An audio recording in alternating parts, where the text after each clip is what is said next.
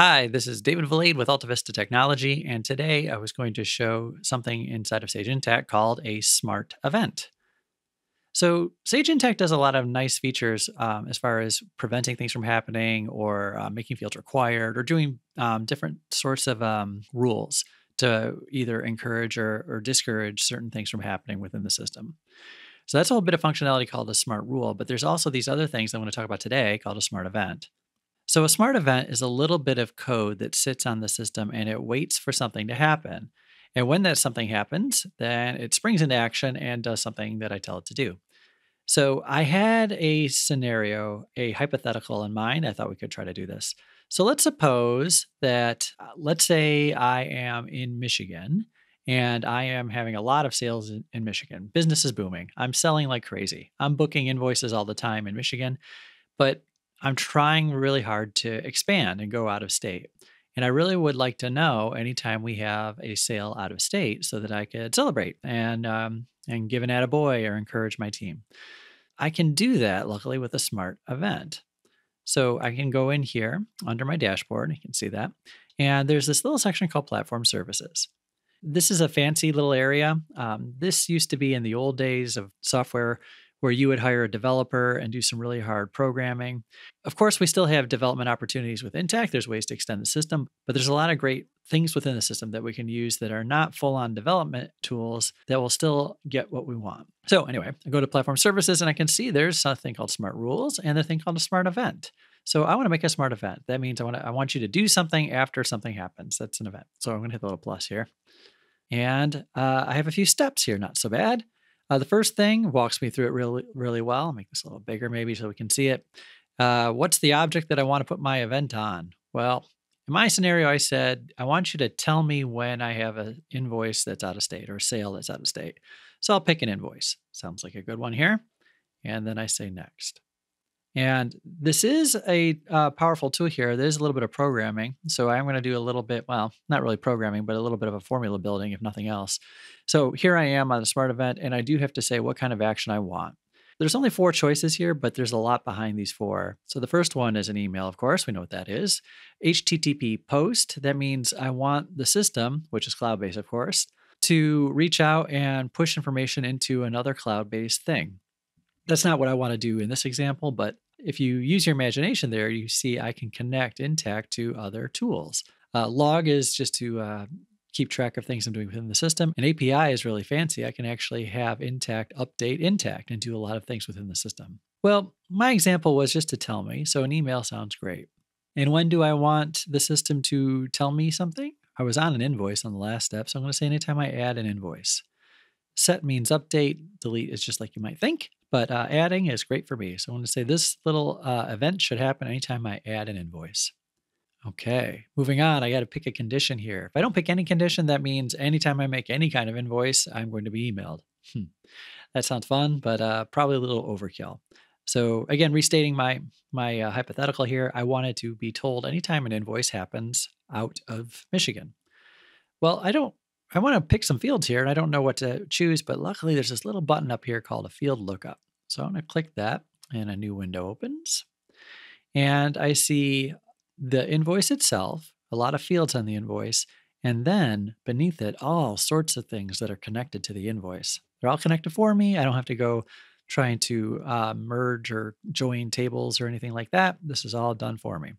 I'm going to say, uh, I'm going to go to the bill to contact. That's the address there, well, the contact name associated with the invoice, and there's a mailing address. And there we go. There's the field I want, state or province. Okay. So if I check the box there, that's what I want. And then I can um, just uh, say OK. And look what it did. It Intacct put in a crazy looking bit of text here, but I can read that and it's basically saying the state that's on the bill to mailing address. okay, that's about what I want. And I want to be told again whenever it's not Michigan. So this is a little formula here. We have a lot of resources on our website, and there's the help and support within Intacct, of course, that uh, can give you some good information on this. I happen to know from having done this a few times that um, I can say that little thing, uh, bang equals, uh, that means unequal to, and I can put in Michigan. There we go. I also want to do a little or here. Okay, so I don't know if I have Intacct set up to let me type just anything. Maybe I want, um, maybe I put in states that are MI. Maybe I type to like the two letter uh, postal abbreviation, and sometimes I put Michigan. I'm going to put and, and I'm just going to copy this first bit and paste that again and just make it MI. Okay, and let's read what I just put here. That's the whole thing. That looks intimidating, I sure. But let's read it. I just basically said if the state's not equal to Michigan and the state's not equal to MI, then I want this event to fire. It looks like a lot, but after you've done this a few times, it starts to look second nature. And that little field lookup really did the hard part for me. So if you think about it, the only thing I had to know really was this little unequal to formula and this little and thing. That's not so bad. There's only like three or four of those, and I can look them up in the help if I need need a hand with that. So that's not too bad. All right, moving on. I say next, and then I get to uh, write an email to me. So I would put in my email address. I'll add that in a minute. Uh, subject, we can say a new uh, out of state invoice. Great. And then I put in my body. So this is the body of the message I would get. So let's just say invoice. Oops, we can type. And I want to put the invoice number here. So guess what I'm going to do? Back into my field lookup. There we go. And I see invoice number. I pick it. I say okay. nice and easy. So invoice, and there's my value. And if it's not obvious, what's going to happen here is when this email fires, it's going to actually swap out this little bit of uh, uh, coding looking thing uh, here, like a mail merge field. It's going to take that out and it's going to swap it out for the invoice number of whatever I'm putting in. So I'll say invoice, there it is, for a certain dollar amount, maybe. Maybe I want to put the dollar amount in. So I'll go look up again. And again, I'm going to take a field off the invoice. Total amount looks great. Take that one. Okay, so I'll say for that, all right, uh, was was entered. And maybe I'll say the state slash province is okay. And then I'll hit my little field look up here. And this was the hardest one to find. It was the state. Remember, that was down here under the build to mailing address. And there it is. Okay, say it right on that. Okay, and I think I've done it. I would put in my email address here, and then on my next, I hit next here, and I left that blank. I'll add that before I uh, move on, and then I just have to give it a name. Out of state invoice or something like that. All right, and then I would hit save and continue. Now I already have one like this saved, so let's um, let's uh, go ahead and try it. So I'm going to go ahead and duplicate this tab. I'm going to come in and I'm going to go into my accounts receivable. I'm going to add an invoice. And here I am. Okay, ready to enter an invoice. I'm all set to go. I hit the drop down. I'll just pick the first customer on the list here. And that's a good one. It looks like it's uh, in California, San Jose, California.